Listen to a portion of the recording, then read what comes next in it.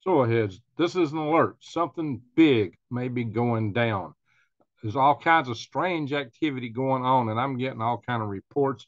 I got this one from a friend, and I'm not going to disclose my source, but it says no idea what is going on, but just saw a report of the security forces of Minot, that's Minot Air Force Base, where we got intercontinental ballistic missiles and B-52 bombers, nuclear strategic bombers, uh, but forces at Minot going nuts, running around the missile fields.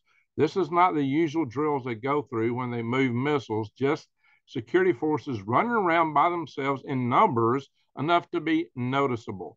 Local law enforcement running around with them, suggesting this is more than just your usual military exercise. But again, no clue as to what's going on. Well, local law enforcement may invoke that it's not a military matter, but it might be maybe uh, somebody tried to breach the compound, but maybe it is a military matter because we look at, at everything going on. And then again, it might be something like where the Chinese uh, were trying to get in Fort Wainwright recently up in Alaska. As we well know, Minot Air Force Base had that Chinese spy balloon loiter over it real slowly and do a lot of reckoning. So, guys, what is going on? Uh, this is against the backdrop of a lot of other crazy things. For example, on Tuesday, Sergei Shoigu basically come out and said, hey, you know, if you use these long range missiles against areas that are not part of the special operations, areas of Russia are not part of the special operations, and that includes Crimea, that uh, NATO uh, and the U.S., but he specifically for the UK and the U.S., we will deem you to be essentially at war with Russia. I'm paraphrasing now. I'll give you a more exact quote in a minute. Well, he said it in Russian, so I won't give you an exact exact quote. But this is serious, guys. He said that if, if they do it, and what happens? So that was Tuesday. Well, what happens? Thursday, Crimea strikes the Kronhar Bridge, which is considered a gateway to Crimea. It's one of those so-called overland routes. Well, the still overland routes got to go across a swamp and some rivers and water. I think I've shown you that in the past, where there's only a very narrow strip of land where uh, invasion forces can actually get through. So this is considered a, a, major strike at one of the most important arteries uh, that didn't take the bridge out. It made a hole in it. I'm assuming the way it looks up, they can probably patch this up and use it again real soon. But this is the kind of thing that he was talking about right there.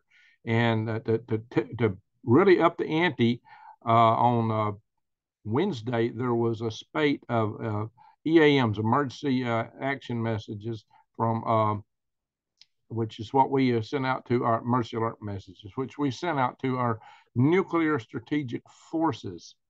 Uh, and there was just a whole litany of them, all back to back, that lasted about two, uh, one and a half to two hours. And it was just unprecedented, just one after another, after another, after another.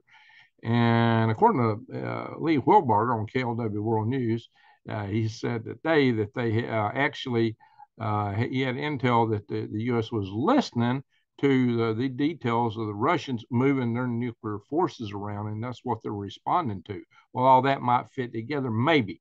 I don't know if that's exactly what was happening, but the uh, tensions are going through the roof, guys.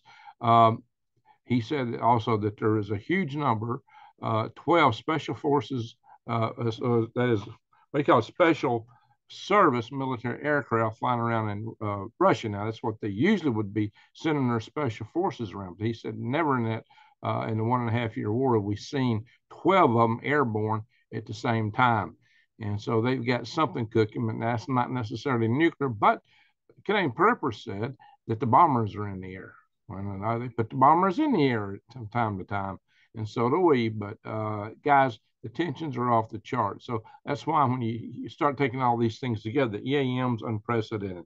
Uh, and furthermore, it, it's this whole thing where uh, basically Sergei Shoigu and Putin are inferring that they will nuke the West, United States and, UK, and United Kingdom in particular, over what may be going on with regards to Crimea.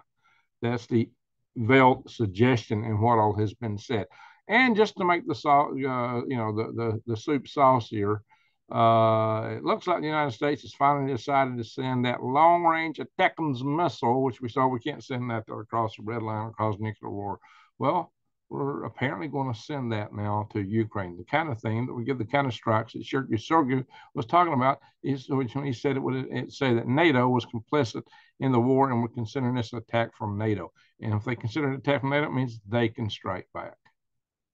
They've also said already that if uh, any of the uh, F-16s are flying in and out of NATO, base, NATO bases, those bases are valid targets.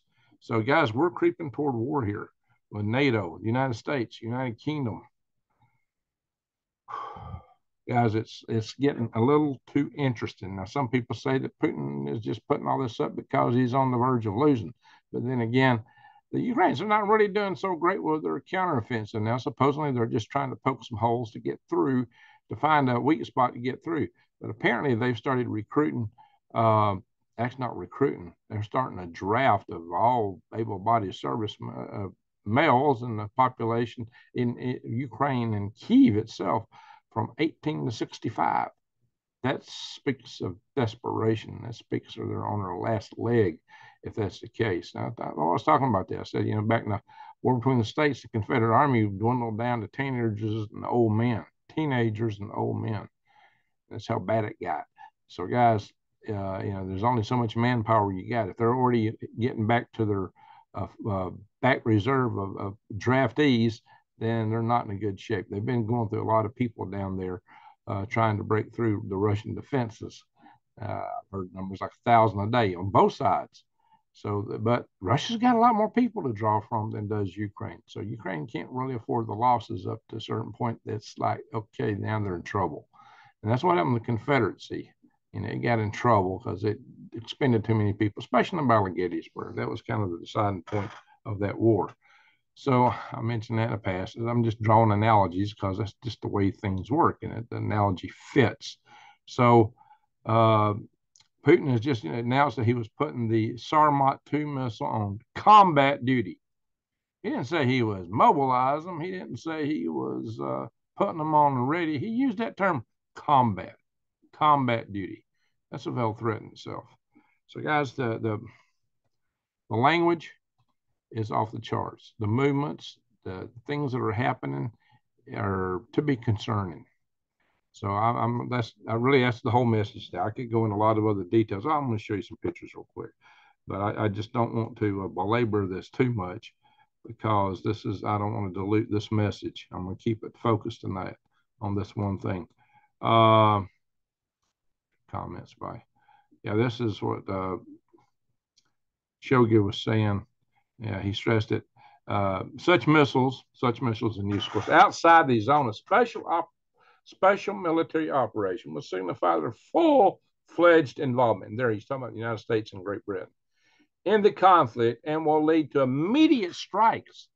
But then he said on decision-making centers in Ukraine. So you know, I mentioned this a couple nights ago.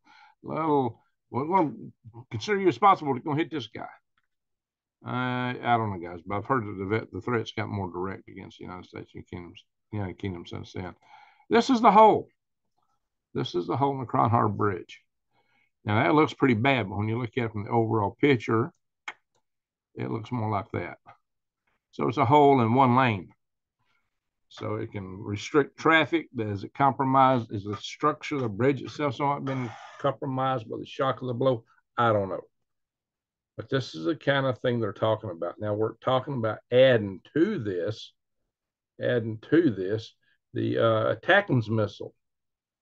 So that will really get Russia hackled. If the ATACMS missile is hitting in Ukraine, uh, Crimea, uh, or over in the mother Russia, yeah, game over. But maybe not over, but it's going to be too interesting. I'll stop the share, my friends.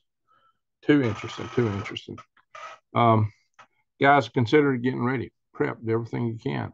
Make sure you've got a full tank of gas in that car. Make sure you got groceries. Make sure you got whatever you need because we're almost in a game of musical chairs. And when the music stops and you have to sit down, what you got is all you got. So you make sure you got the means to defend yourself and your family. Make sure you got means to feed yourself. And mostly, make sure you got means to purify and sanitize water. That's the most important thing. Make sure you can do that. I got video talking about how to do that with plastic bottles and all that kind of stuff. So, guys, and go to prepwithgreg.com. We got specials there for long-term food storage. Prepwithgreg.com. And you know, grow a garden, or at least if you don't want to grow one this year, get the seeds because you might not be able to get them next year. This may be it if the, if the bloom goes up and uh, the grid goes down. Uh, what you got is all you got. So go to True Leaf Market and uh, Eden Brothers. Check out my links below to that. Get seeds, get ready to garden. Hope you're already doing something. Still plant a fall garden. Get some practice in that. If you don't have a garden, grow something on a pot in your porch, in your stoop, your window. Put some lights in your closet and grow something there. anyway, my friends, just take care. Take care. That's all I got to say. With that, I'm going to say, Greg out.